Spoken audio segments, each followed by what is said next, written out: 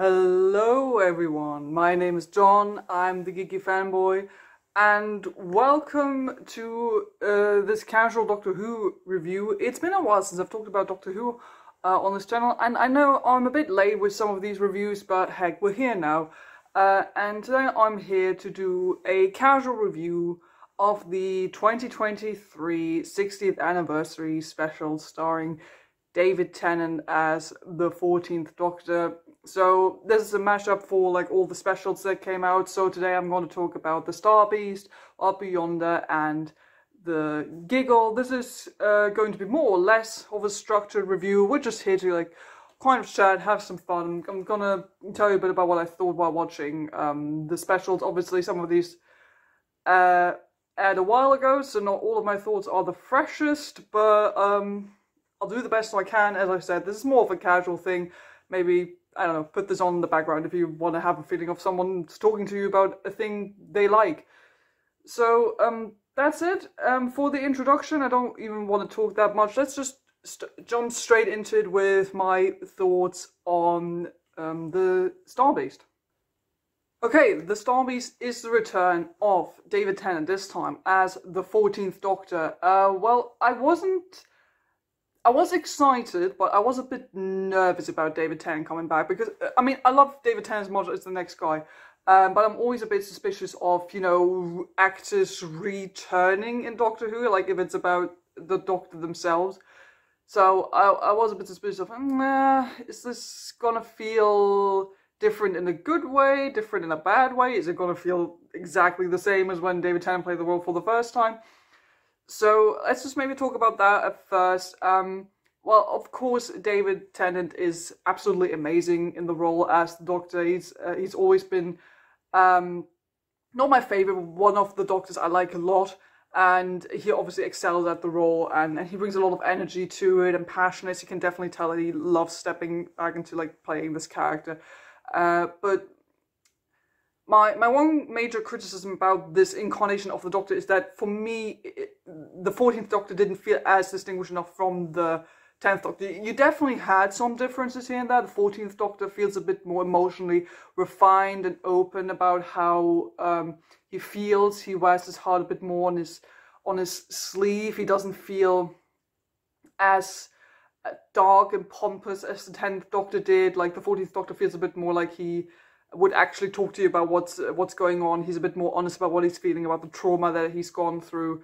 Like you could tell that there were like subtle differences there in that that department, but the rest of the character for me felt still a bit too similar to the tenth Doctor. And I know that David Tennant can pull off like a variety of, of, of different character types. So I'm I'm putting this maybe more on the writing and the, and, and the directing that for the most part, he plays the character almost exactly the same as he did, um, like 15 over 15 years ago. Like I said, I mean, I, I like the 10th Doctor. Um, I like David Tennant on the role. I, I just wish we had a bit more like, um, like different characteristics to this version of the Doctor, even though it was the same face. Like I, like I thought, okay, maybe he just has the same face, but completely, well, not completely, but like new personality. Like, but they just went with yeah no he's he's still kind of he's he's basically kind of the same just more emotionally refined because he's older. Um so that's what what this felt like. Um it wasn't like bothering me too much it's just something i noticed where i wish they had done a bit more with the doctor as as a character in general um in in in these uh specials but yeah, let, let, now let's jump straight into uh, the Star Beast. Doctor meets Donna again. Donna, my favorite companion, 10th Doctor, uh, and Donna is still my favorite Doctor companion duo in the series. Um, Catherine Tate and David Tennant have amazing chemistry right off the bat again. Uh, I can't understand why they brought these two actors back for, you know, a 16th anniversary thing. Uh, I'm always delighted to see Donna. She, like I said, my favorite companion.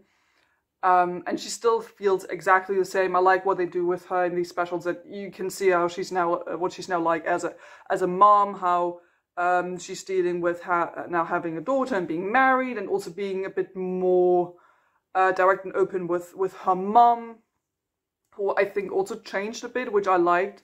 because um, I think the relationship between Donna and her mom is actually quite interesting. I really loved seeing Donna's relationship with her daughter, especially like in this in this first special in the Star Beast. Um, uh, I wished we would have gotten a bit more about Rose, about the about the daughter of Donna, and a bit more uh, about her husband because her husband is fun when he's on screen, but he barely like really does anything. He's just kind of there because he he's funny because he doesn't know what's going on. He's never heard of the Doctor. He doesn't know anything about like all the sci-fi nonsense that uh, it's been going on in Donna's past. So he's kind of the the straight man, in, in in that regard. So I wish we had we could have gotten a bit more of him.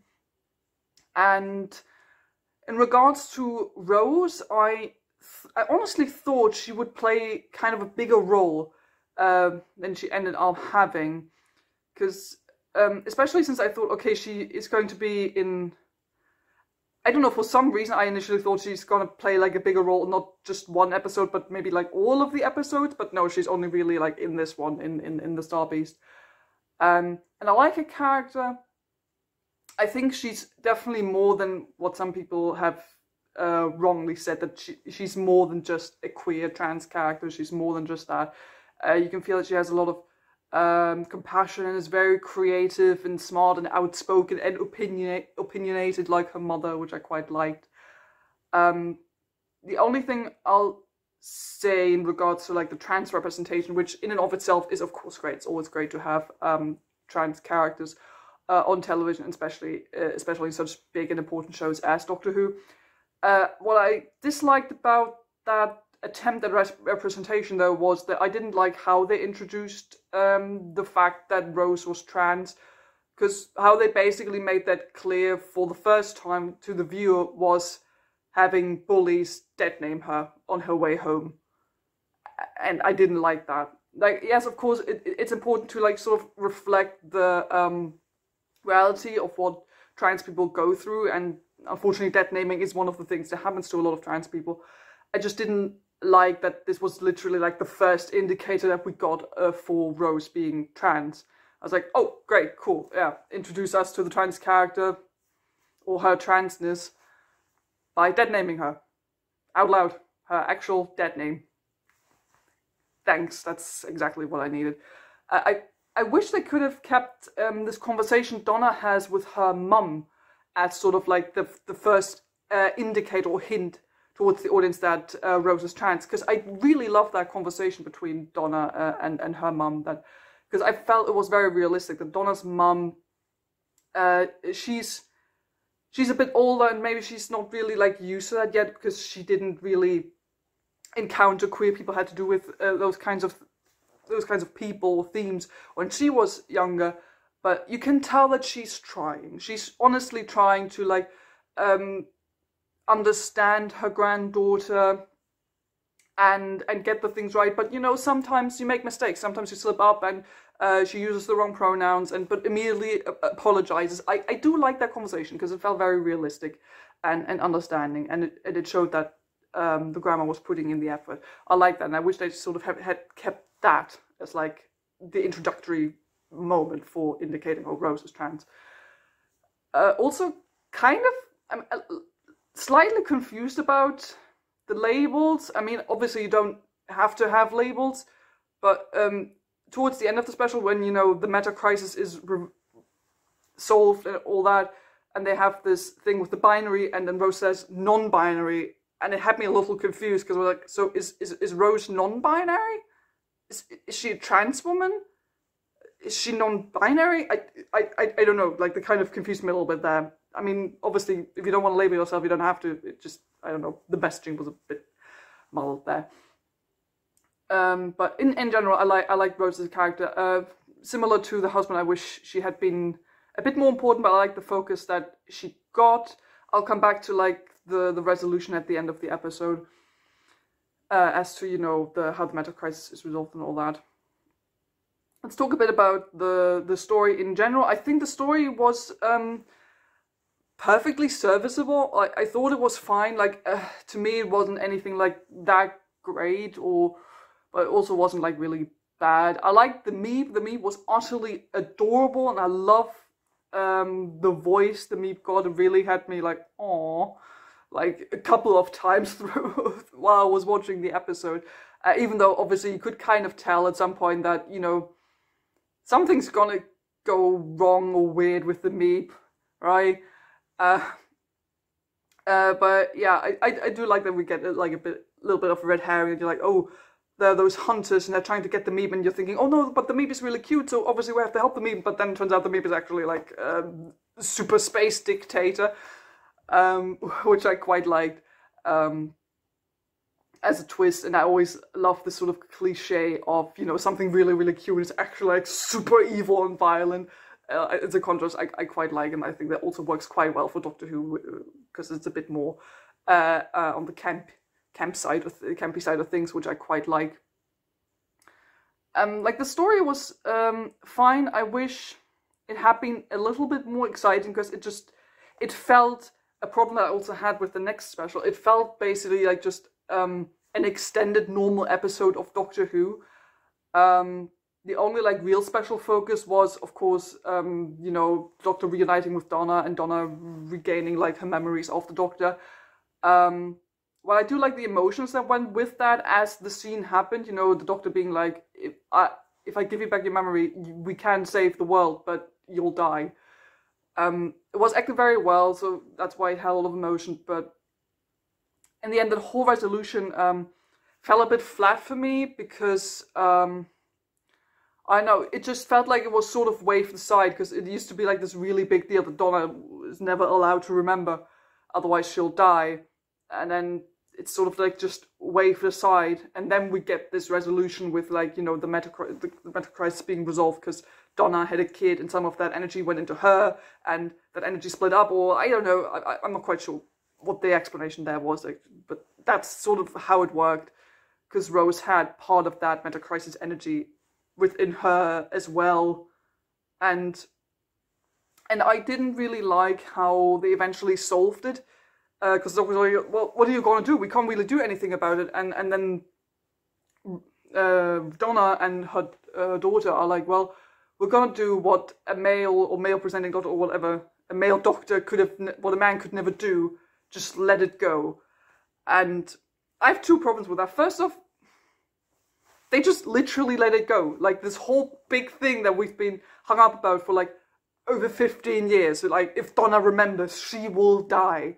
That's like a huge deal. And then they're like, just let it go, man. Just let it go. And then it literally just like resolves itself and Donna's fine. Felt a bit underwhelming. And my second issue with that is that I didn't like how probably not on purpose, but uh, it's sort of the implication was, you know, men are not as in touch with their emotions as femme people are, so that's why we are able to do this and allowed to let go of something because you, as a man or male presenting person, are emotionally immature and have trouble letting go of your emotions or be vulnerable. I didn't like that implication to be honest. It, it, it, again, it probably wasn't on purpose, but it left a bit of a bad taste in my mouth. I was like, "Oi, like, what the hell? That's not really fair or a good message." But yeah, um, that wasn't on purpose. I know, but it felt, it still felt a bit iffy. I don't know. But that's how we sort of resolved that situation. Uh, felt a bit underwhelming.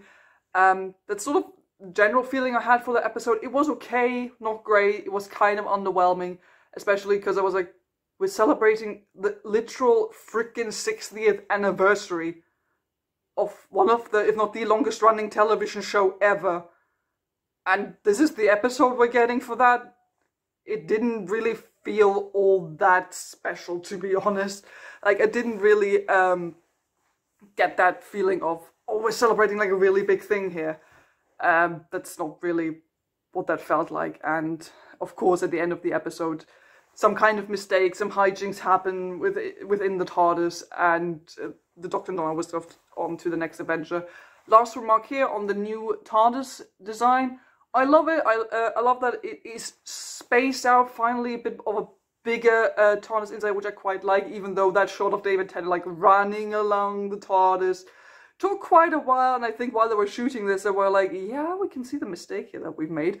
Uh, you felt that a bit, although I do quite like how big it feels. I like how the general design is very reminiscent of um, the classic Who TARDIS. Um, sort of more like the very wide, sterile kind of look, but uh, with a modern touch, like in the cons and everything. And later we also get a jukebox, which I quite like. Um, it definitely feels very um, different and distinguished, which I think is always good for like a new Doctor and like sort of soft, um, not quite reboot, but you know, like a sort of soft new beginning for for the show. So I quite like that. Okay, let's jump into the second special, Wild Blue Yonder. I think I'm going to have a an unpopular opinion here, because from what I gathered as uh, when I when I finished watching that and I looked at some general opinions and reviews, I think a lot of people really really like this special. Like I, I've seen so many people say that they think this is like one of the best episodes of Doctor Who in a in a while uh, for some people in a really long time, in literal years, because you know, 13th Doctor wasn't that good, you know, those kind of people. Uh, and a lot of people were like, wow, this was finally like some really good freaking Doctor Who. Um, and I finished it and was like, yeah, was alright. like, it wasn't bad. By no means, it, it wasn't bad. I had some moments I really, really liked. So let's dive into it. The Doctor and Donna um, on an ab- seemingly abandoned spaceship. It's completely empty, and the TARDIS, sensing danger, just buggers off. The TARDIS is gone, along with the sonic screwdriver, and the Doctor and Donna are left on this seemingly abandoned spaceship trying to find out what the hell the TARDIS went away from and how they can solve the problem so the TARDIS comes back. Which I think in general is a great premise because it immediately gives you like a sense of unease because you're like, oh shoot, so we know they can't be alone. We know that there is something lurking on this spaceship or space station, which was uh, a general feeling I, I immediately quite liked, and I like that we sort of really do get the sense of unease and panic a bit in the very beginning because Donna is having a bit of a freak out, and she like her and the Doctor even have a bit of a fight, and but then the Doctor like tries to calm her down. I like that. I like the like the general mood setter there. Then we get on to like the the actual like spaceship, the space station then I realized, oh, this episode is gonna look rough. And I mean literally look rough. Because I know Doctor Who doesn't have the biggest budget. It's no Game of Thrones. I never expected that. And I'm used to the near CGI on the show. But the way this episode looked like really took me out of it. Because I was like, oh, oh, we're working that's the green screen and CGI we're working with in this. For 60 minutes. Okay, it's gonna be, be a bit hard on the eyes. Um, yeah, this looked awful. In parts, this looked really awful. Like to, and I'm like usually the guy. I'm like I don't care what it looks like. Like if it's a bit old, if it's shoddy CGI, usually I don't really care that much. But in that case, I don't know why. In that case, it, like it really took me out of it. I, they were standing in this like corridor of the space station. I was like, "What am I looking at?" I don't know. It just really took me out. Um, the problem with the shoddy CGI also came back later with like the the not things, like the evil entities they were fighting. Um, because I, I get that they were supposed to look weird and make you feel uneasy and creeped out, but to me, it wasn't. They didn't feel as I looked at them. They didn't make me feel like uneasy in a good way. They made me feel uncomfortable in a bad way because I was like, oh, oh, oh, honey, those special effects went a bit wrong, didn't they? Oh, darling, no. What are, what are, what are we doing here? That's sort of what that felt like. I was like, oh, I hate looking at this because it just looks awful from a technical standpoint. I don't know. Just I don't. I don't know what the problem was here for me, it just it really took me out of it in like parts of the episode because in, in general i think the premise for this was great and the villains i think in general were a really good idea and quite creepy um because it feels very much like a bottle episode and you just have two entities that look exactly like our main characters. Uh, also i love it when actors have to like essentially play each other but like a different version um which i quite like. And um I, I like the hints there of, of creepiness that you got with like when the Doctor and Donna were split up and you couldn't tell who are they talking to now? Are they talking to the actual real authentic version? Are they talking to the like non-thing not thing evil version? I, I do like how that how that worked in dialogue. I really like how, how that worked out. But as soon as like things started to like literally physically look weird, I was put off in a bad way. I was like, oh no, this just looks this just looks weird. Why are we doing that? Um, I mean, I do appreciate that, like, for example, like the long arms and something, like they weren't CGI, they were actually there, they were props. That That's great. I, I love it when, when, when um, TV shows and movies do that, because also that didn't look bad, because because I could tell those were props. Like that, good. Keep, keep doing that. Don't use CGI, keep using more on-set props. I love that. Um, I loved the dialogue that uh, that we had in this episode between uh, the Doctor and Donna, and also between like the evil entities and our, our actual main characters. One of my favorite conversations uh, in this was, which unfortunately eventually turned out to be between the real Doctor and the fake Donna, was the Doctor actually like talking about his trauma that he went through because um, of the flux and all that. Half the universe died because of them um, that he's running away from it all because he feels guilty and all that. I really like that we worked through that and the doctor is finally like facing those emotions that we don't, even though a lot of people didn't like the Jodie Whittaker area, uh, era, that RTD isn't ignoring this, that no, this doctor actually thinks about this and is emotionally impacted by this and even traumatized by this. And we are talking about the flux and all that and uh, the timeless child. We, have, we haven't forgotten about it. We are talking about it and I like that. I like that whole conversation where, where the doctor is being honest about his feelings and he's being very vulnerable and, and open. Then, and unfortunately, it turns out that he was having this conversation with the fake Donna, which to me undermined the whole emotional basis a bit, but in general, I thought that was a good idea.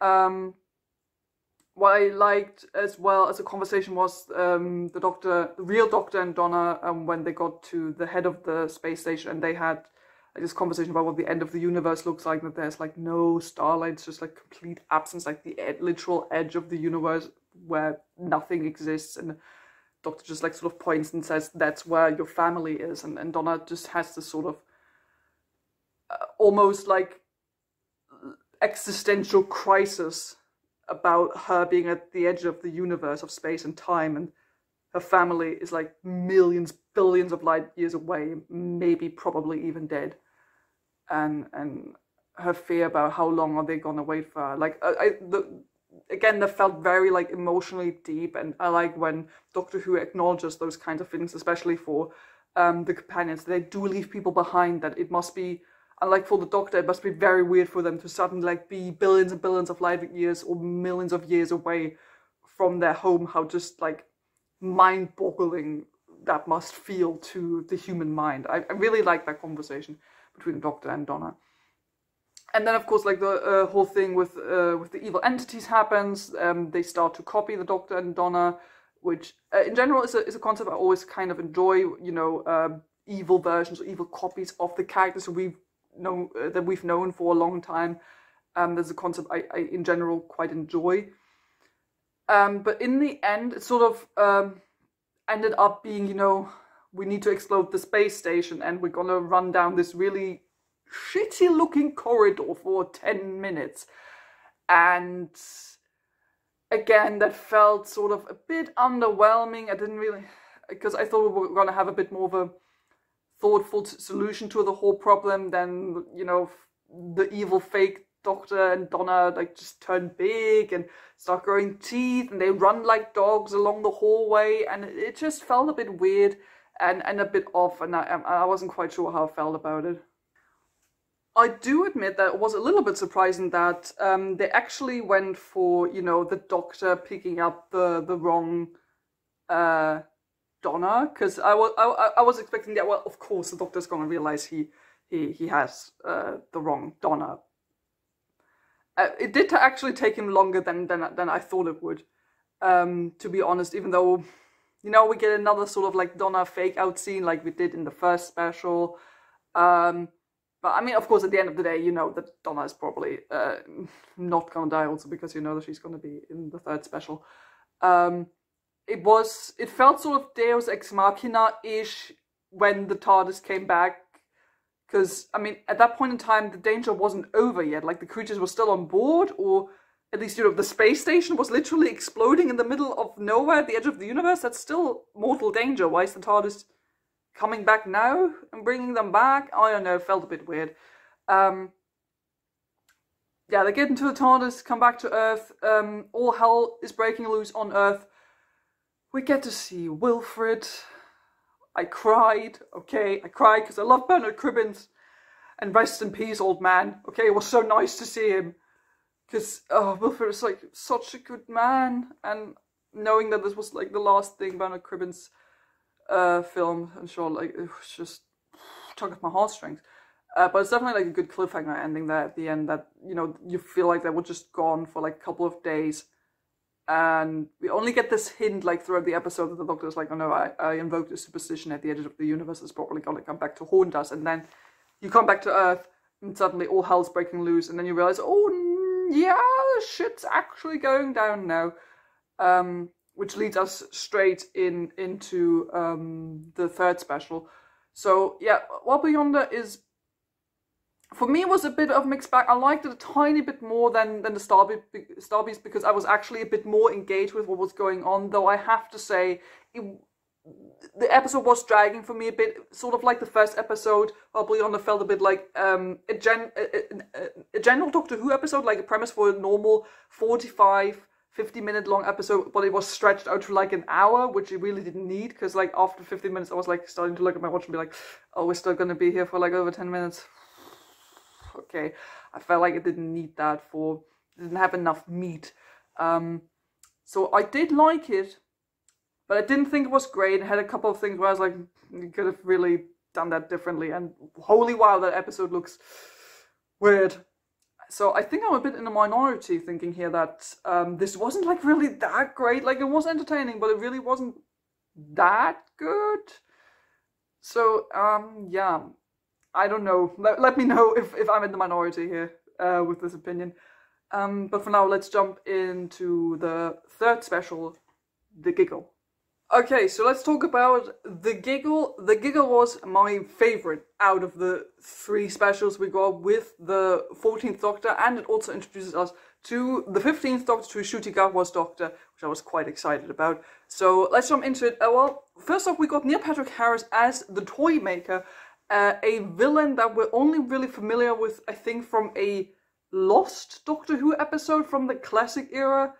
Um, so it was a villain I, uh, I had heard of, I was aware of, but didn't really know that much about uh, before going into this episode. So the sort of the first uh, incarnation I got of uh, of this character. Um, Neil Patrick Harris, you can tell, has so much fun with uh, with this character. He like brings a lot of camp and cheesiness and but like also a great sense of like chaotic uh, weirdness and evilness to the character, which like immediately you can feel you can feel immediately like within the the, the first couple of minutes of, of the episode. Um, in regards to the accent, um, I felt slightly put off by uh, by the the, the German because you know guy who lives in Germany hears a lot of German, reads German. Um, it, I know it's super nitpicky, but the entire time my brain was like,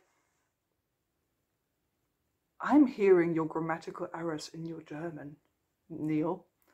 I'm hearing all of it, and I don't like it because it's it's not grammatically correct. it's it's really nitpicky. It's really nitpicky. That was just my brain while watching the whole time because I was like, that's not how you would say that, but okay, no.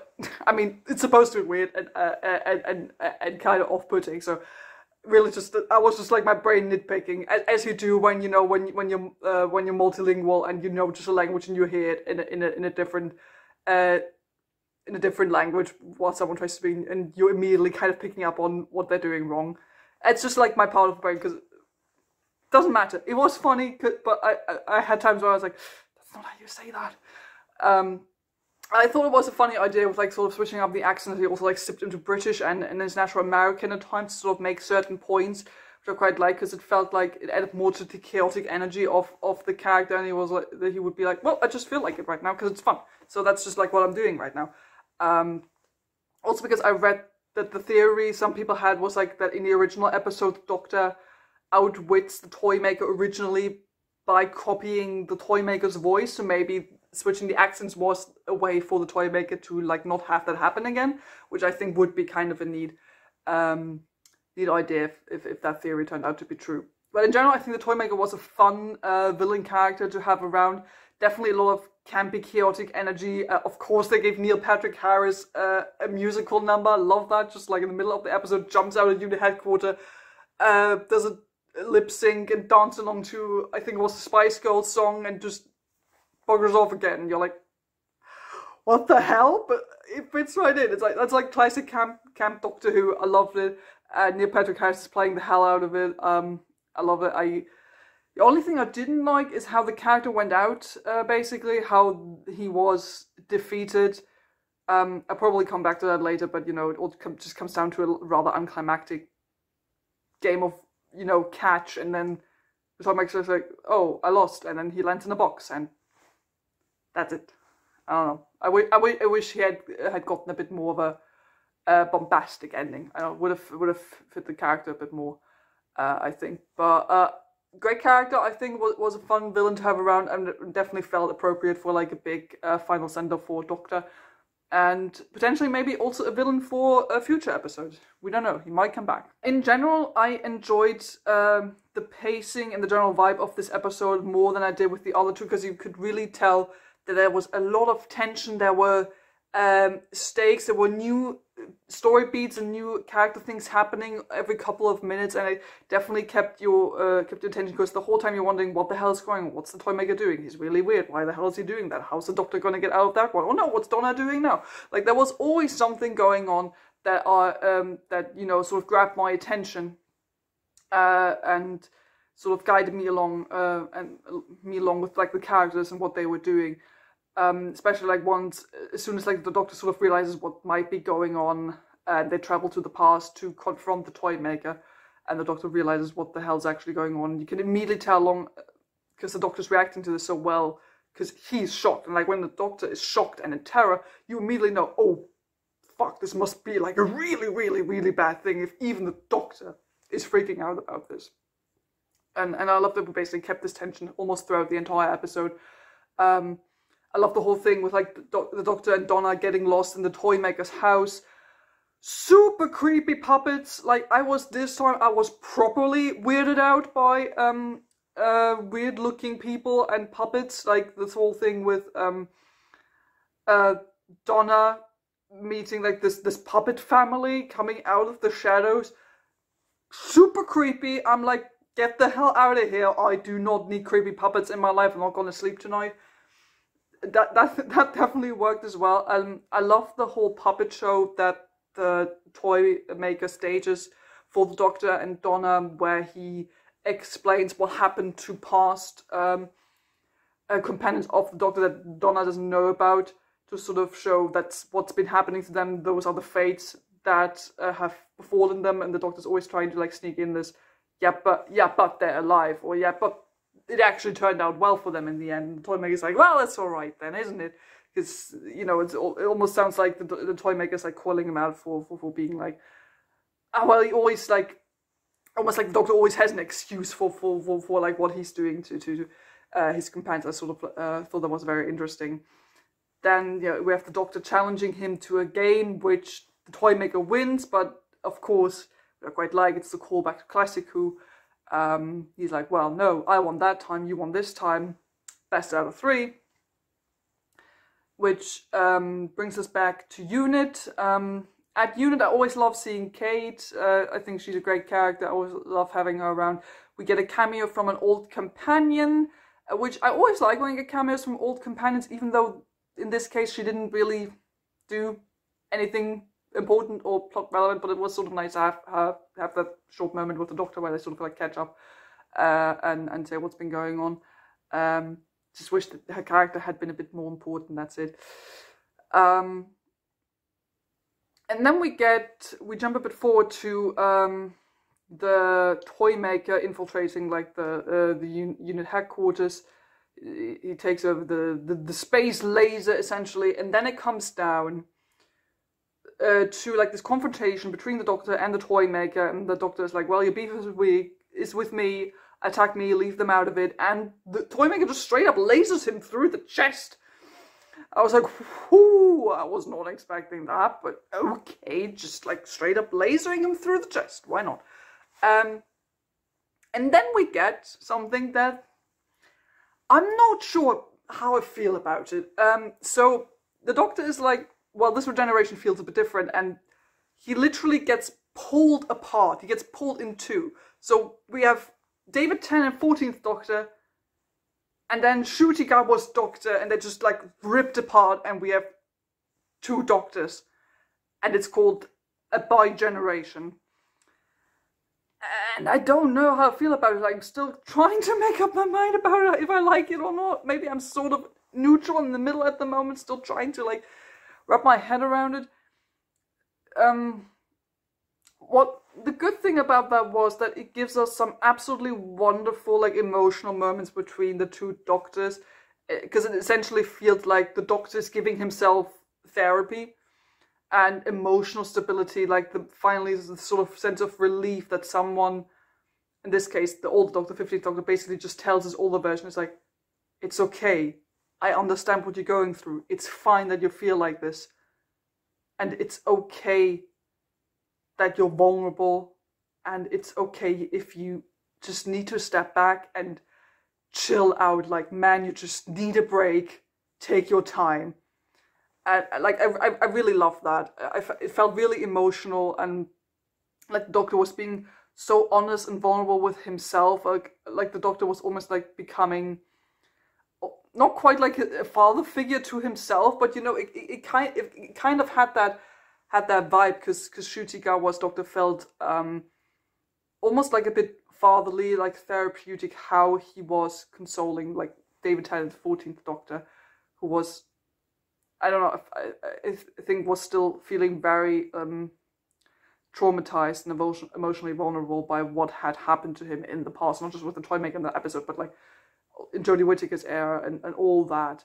Because he's like so so old now. He's been doing this for such a long time. He's uh, he carries the guilt of like so many deaths that have happened in his name that other people have uh, caused because of him and it, it I don't know, it just felt really cathartic to like sort of have himself acknowledge that to himself and be like, I know how you feel, and it's okay for you to express those feelings and talk about them. Like it was for the, it almost felt like for the first time he's sort of acknowledging to himself or accepting himself that he is feeling those things and that it's okay to go through whatever he's going through. It just felt really, really nice. And right off the bat, Ncuti Gatwa's doctor, I'm probably gonna come back to him in a moment anyway, um, immediately great energy. Like he comes out and you're immediately feeling his vibe. You're like, yep, that's a new doctor right there. You me I at least for me personally, I was immediately like sort of vibing with him. I was like, he's definitely got the energy. He's definitely got the energy you need to for like you like expect from a doctor. That he immediately sort of has um, the the charisma to like sort of command the room. Like I, I felt like Ncuti Gatwa in that scene, and I like the final scene on where they were playing catch. Like even um was was stealing the spotlight like from David Tennant and Neil Patrick Harris. Like he was taking over that scene as soon as he was there. And you're immediately like, drawn uh, drawn uh, drawn to his personality, I think, which I really really like because I think it's always uh, sort of important thing for like a new doctor to immediately make like a good impression on the audience. And for me, that it's definitely what happened here. And then they have the scene where they play catch, which I'm not quite sure how I feel about that. I, I mentioned it a bit earlier, like uh, it felt a bit anticlimactic how, how the uh, toy maker goes out because they just play a weirdly edited scene of catch and then suddenly out of nowhere the toy maker just doesn't happen to catch the ball and he loses. And that's how they save the day. And it it felt anticlimactic. It didn't feel like they, they, they earned that. I, I, I wish they had played a different game, not like something like catch and then in a weirdly edited scene with like no real climax or anticipation. It just like throws some balls. It's a bit weird. Like the doctors could even eliminate themselves, which would not be beneficial in that case. And then the toy maker just happens to lose somehow out of nowhere. Then he's just gone. I don't know. I, I wish they had done this a, a, a, bit differently.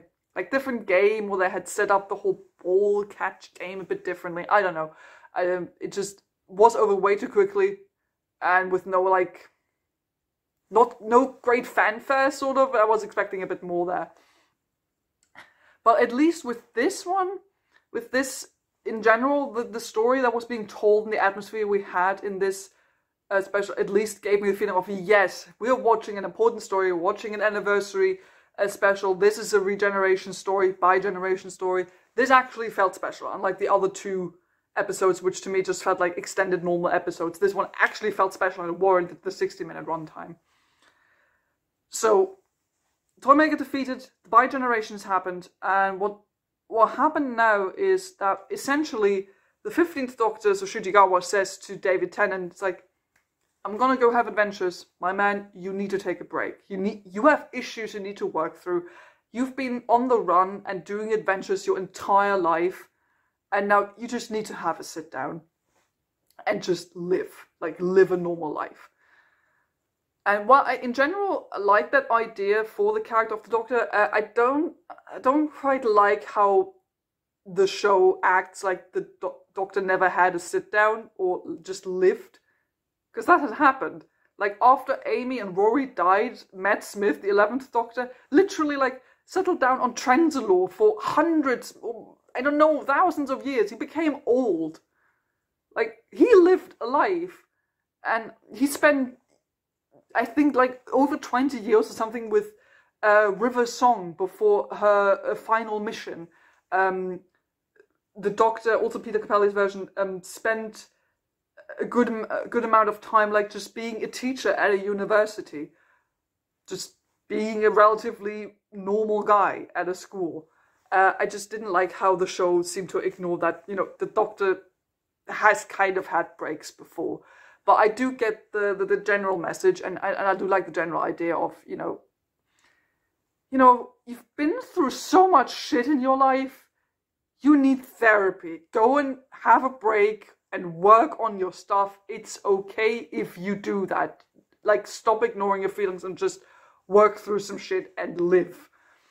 I, I just I don't know I, I, I liked it it was really well acted like it I don't I don't know if I mean I'm emotional in in general, but it, it, he even had me like a tiny bit teary eyed because because the chemistry between the two doctors worked really really well, and I just like that sort of like fatherly or advisory uh, vibe that Ncuti Gatwa's doctor had towards David Tennant's doctor.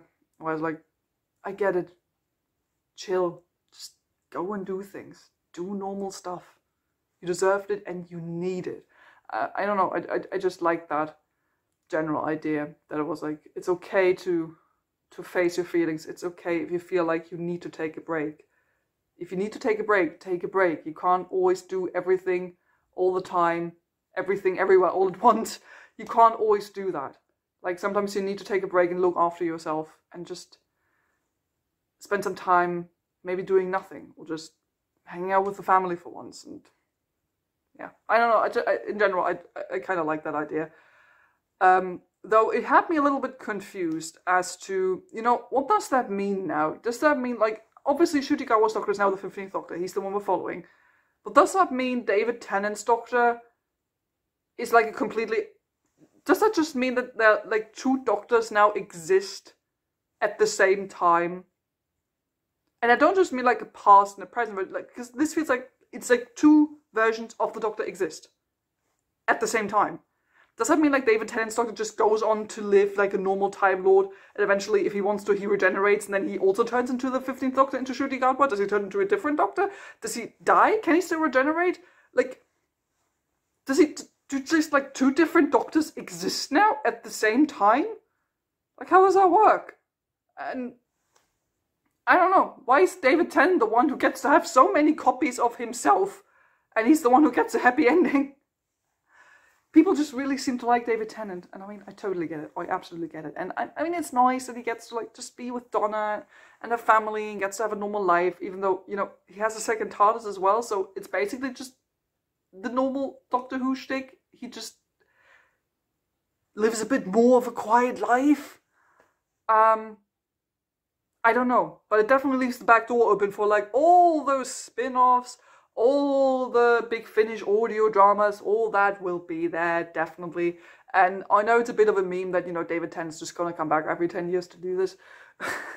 I know he said he's not gonna do it again, but it definitely left the back door open for that, and I wouldn't put it past him that he would be like, nah, come on, one more time. Because uh, we all love us some David Tennant, right? But, um, yeah, Doctor Who's de- definitely been giving him a lot of limelight, you know, for for his incarnation, two incarnations, however you want to see that, and now he's the one who gets to have a happy ending. And I don't know, I still feel a bit weird about it. Obviously, I'm happy when the Doctor gets to be happy, but I also still feel weird about this whole um, bi-generation thing, how that works, and what we're gonna do now. Um, I mean, we're gonna follow uh, Gatwa's Doctor now. Uh, I already said it. I absolutely adore his energy. I love what we're getting. I love that he seems to be that he has what I love about the Doctor, he definitely has this energy of that he feels like a um, childish, playful, cocky young person with the mind, um, the memory, and the knowledge of a very, very wise old person. Because he definitely brings that energy, as you can see, like to, towards his young, uh, towards his younger version, to, towards the 14th Doctor, very, very almost father-like advisory, where he's like, I'm, I'm the emotionally mature one, I get it, we talk about it, but at the same time you definitely get this energy of, oh, we're doing some weird stuff, darling, we're doing some weird stuff here. You can definitely tell that this classic combination of like the Doctor's personalities like definitely comes together here in Ncuti Gatwa's version. Um, what I've seen from the trailer for the Christmas special definitely looks great. Um, I already love the the costume design we get for Ncuti Gatwa's Doctor with like the orange and the leather coat. Looks great looking forward to it. He has some um, great energy. I'm, I'm really looking forward to, to seeing more of him um, in the future. We'll also get um, a new companion as well for the Christmas special. We'll we'll see how that uh, works out. But yeah, for now, those were uh, three specials. Um, for me, they were all okay. None of them were straight up bad, but I think it definitely became better with uh, it became better with each special. Like the first one um, was okay, not great, but it was okay. The second one, bit better. I don't think I liked it as much as most people. And the third one, great. I had a lot of fun with it. That one definitely felt like a 60th anniversary regeneration special, like the one we really needed, like 60 minutes long. Great story, great villain. Like one or two like tiny problems that didn't take me out too much. Um, and we now have uh, have a new Doctor on the horizon, ready to travel in the new TARDIS with a n- new companion along the horizon as well. And I'm I'm looking forward to seeing where Doctor Who's going to go next. So that's it for my uh, quick review of all three uh, Doctor Who 60th anniversary specials. Please do tell me down in the comments below what your opinions on those specials are, especially if I'm in the minority in regards to Wild Blue Yonder, because I feel like a lot of people really, really like that, and I'm sort of more in the eh kind of category.